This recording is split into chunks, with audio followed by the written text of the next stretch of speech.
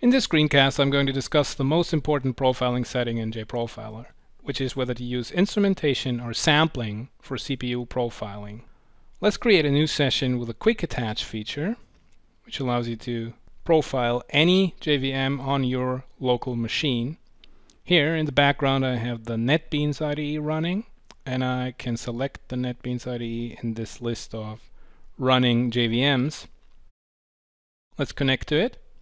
And the one question that JProfiler asks you when creating a new session and starting to profile with that new session is whether to use instrumentation or sampling for CPU profiling. That's a very important decision. It's not fixed. You can change it at any uh, later point in time. But JProfiler has to know it right away when starting to profile. Instrumentation gets you uh, all features in all views in JProfiler but if configured incorrectly, if your filter settings are too broad, the overhead may be too high. And sampling is, is great for searching for performance bottlenecks and working with very broad filters, and which is especially useful if you don't know uh, in what subsystem, what part of your application uh, a performance problem is, is located. So let's choose instrumentation right now. As I said, filter settings are extremely important when uh, working with instrumentation. By default, JProfiler offers a, a set of default excludes.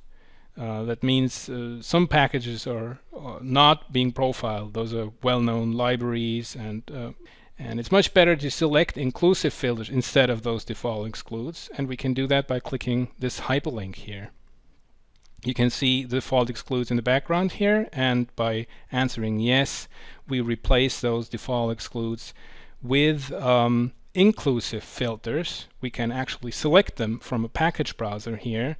Uh, the profiling agent knows what classes are loaded in the NetBeans IDE and uh, we can open this package tree and then um, select uh, a couple of top level packages uh, and profile the classes that are contained uh, in those packages.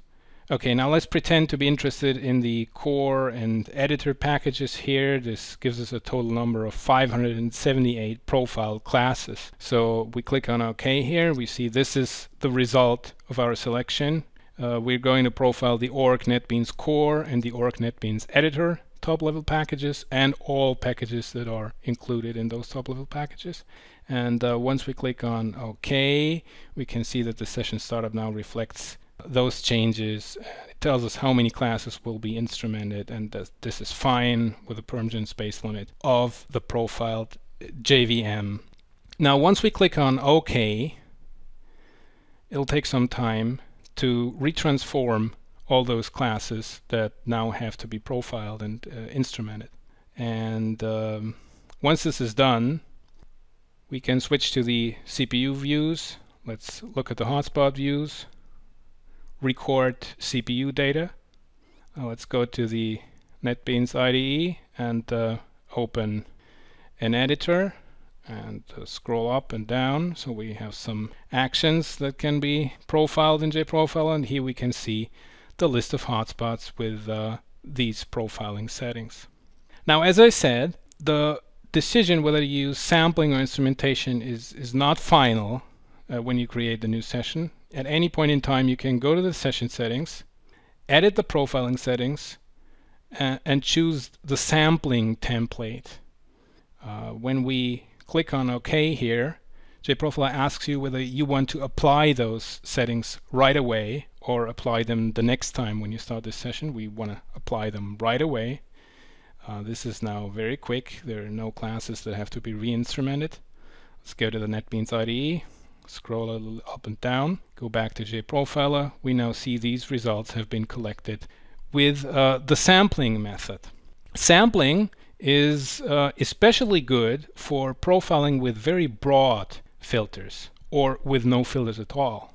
If we go to the session settings and look at the profiling settings, I can customize the profiling settings and here you actually see where um, this setting lives on the method call recording tab of the profiling settings dialog. You can choose dynamic instrumentation or sampling and here there's a checkbox for disabling all filters when you use sampling.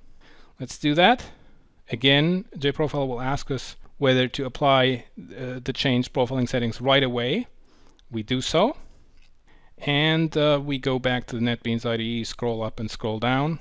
And in JProfiler, we can now see lots of low-level methods in the list of hotspots. Now, JProfiler measures down to the last call, and you can open the backtraces to find out which higher-level subsystems invoke that hotspot and uh, change your packages accordingly.